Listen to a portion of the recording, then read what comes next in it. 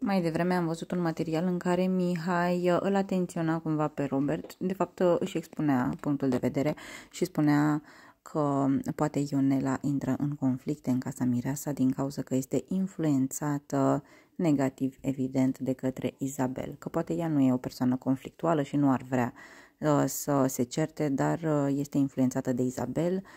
și Robert a spus că el nu crede asta pentru că dacă își exprimă aceeași părere, sunt de acord în legătură cu unele persoane, asta nu înseamnă că se influențează.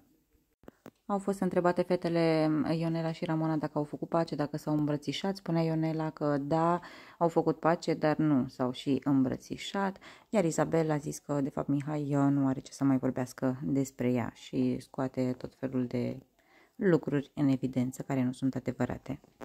Robert, de asemenea, mai uh, zicea că nu-și dorește să mai intervină în uh, discuțiile și certurile fetelor.